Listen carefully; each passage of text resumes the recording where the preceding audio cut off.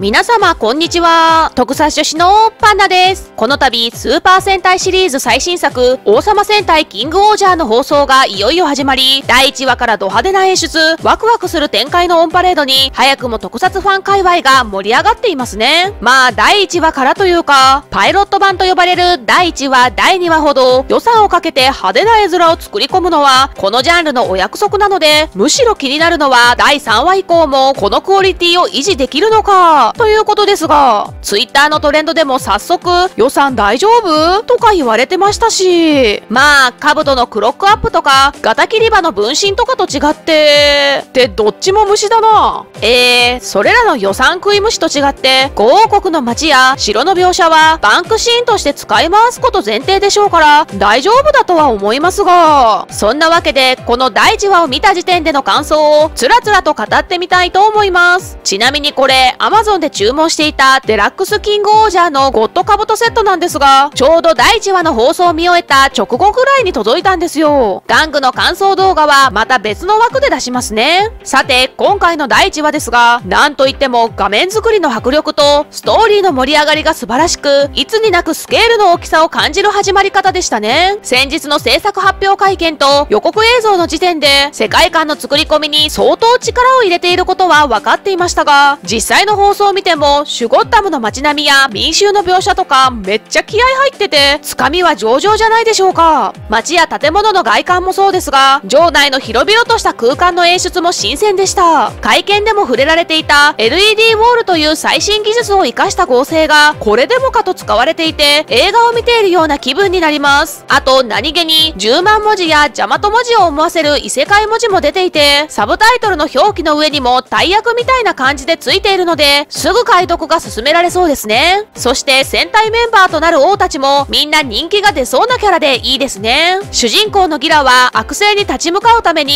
あえて邪悪な王を名乗るというのが王道の少年漫画を思わせる展開で熱いですし、大レンジャーの庄司を彷彿とさせるヤンマガストや予想外の敬語キャラだった神楽木殿もファンに愛されるキャラになりそうな気がします。ヒロイン好きの私としてはやっぱりダブルヒロインに目が行くわけですが、姫のランちゃんは初登登場シーンでは典型的なわがまま女王様かと思わせて、その後の戦闘シーンでは誰よりも民を気遣う側面を見せていたりして、個性派揃いの王たちの中でも、実は最もちゃんとノブリス・オブリージュしてる感じで好感度が上がりましたし、対するリタは、今回はキャラ設定の紹介くらいにとどまっていて、内面の掘り下げは今後に期待といったところでしょうが、スーパーヒーロータイム終了後のアイキャッチで、他のみんながリアクションを取っている中、一人だけマジで不動で突っ立ってるのが何気にツボだったので、作中でもそういうシュールな魅力や、そこからのギャップを見せてくれたら嬉しいですね。あと、サブキャラクターの中では、シュゴッタムの民の小金ちゃんも、今後の出番次第では、竜ソージャーの音ちゃん並みの人気になりそうな気がします。ギラの悪役ごっこに付き合ってる時の、いやー、助けてーの白々しい棒読みとか、好きな人多いでしょうしね。それから、シュゴッタムの本来の王、ラクレス・ハスティは、思った以上に悪い本性全開で、びっくりしてる人が多いみたいですが、今後どういう役回りになるんでしょうか？第1話の時点で、マスターロゴスミを感じるという感想も散見されるので、そっちの路線にうまく振り切れれば、視聴者のヘイトを集めることもなく、ネタキャラ系の悪役としてやっていけそうな気はしますが、アクションに目を向けると、こちらも迫力満点で、無双ぶりが気持ちいいですし、共通武器の使い方にもそれぞれ個性が出ていて、久々に戦隊らしさを感じます。個人的にちょっと気になるのは、変身の掛け声の、妨害武装が、音を聞いてるだけだと、なんて言ってるのか分かりづらくて、字幕をつけずに見てる人は混乱しないかなという点でしょうか。子供は大抵自動詞とかで設定を知った上で見てると思うので、問題ないでしょうが、そうした情報に触れる機会のないライト層の間で、変身の時に何て言ってるのかわからないというツイートが、これからの1年、ちらほら観測されそうな予感がします。それでもって、なんといっても、今回のハイライトは、ギラの覚醒シーンからの巨大ロボ、キングオージャーの初陣ですね。まさかのギラ一人で、合体掃除をこなしてしまったのは、ちょっと驚きましたが、ドンブラザーズのロボ戦は、ずっと謎空間だったので、青空をバックに、街のセットの中での巨大戦は、やっぱりロボの巨大さを感じられていいですよ。そのセットも、いつもの現代日本のビルと違って、ファンタジー世界の城壁とかなので、絵面が新鮮で楽しかったですね。パシフィックリムを思わせる、モーション式の操縦シークエンスも斬新ですし、一旦ゴッドコア型に戻って戦うところとか、実写での操演がかっこよくて、懐かしい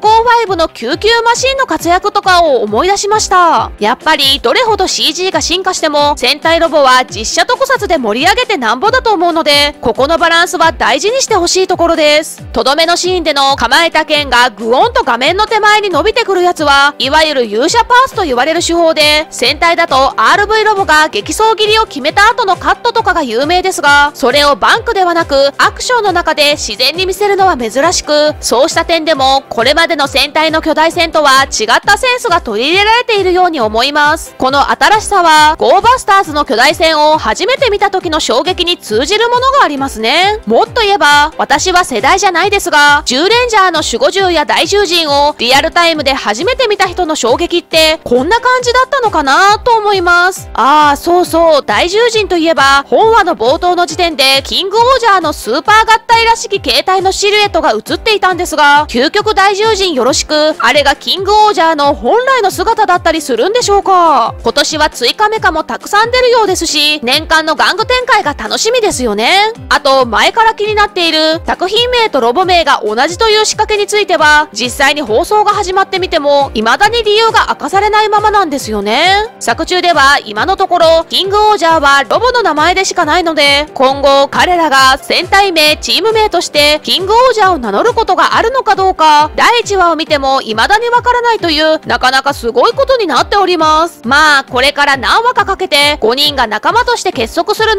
れを描いていくようなので、これだけ引っ張るからには、チーム名としてのキングオージャーの意味合いにも、しっかり劇中で理由付けしつつ、初名乗りの盛り上がりを演出してくると思いますけどね。そんな感じで、怒涛の第1話でしたが、来週は早くも、いつもの埼玉スーパーアリーナが、ンコソパの街の光景として出てくるようで、今後、各国の光景がどう表現されるかにも期待しています。というか、最初に設定を見た時点では、ジャスピオンとかキューレンジャーみたいに、序盤で私たちの地球にやってきて住み継ぐ展開になるのかと思ってたんですが、本作の場合、5王国がある世界自体が、カタカナで地球、もとい地球と呼ばれているので、そこからさらにこちら側の地球に来る展開になるのかどうか、ちょっとわからないですよね。ずっと異世界のまま話を進めるのだとしたら、見覚えのある関東近郊の光景を各王国の光景ということにして使うのかなという気はしますが、ネットでは豆腐の光景は響きみたいに山の中でロケするんだろうかとか、現実の街並みをそのまま出せるから、んこそばばっかり舞台になりそうとか、いろいろ言われていますが、まあ、それも今後の展開を見守るしかないですね。といったところで、キングオージャーの第1話について、個人の感想をつらつらと語ってみました。皆さんもぜひ、今回の感想や、今後の展開への期待などをコメントント欄で語っていってくださいね。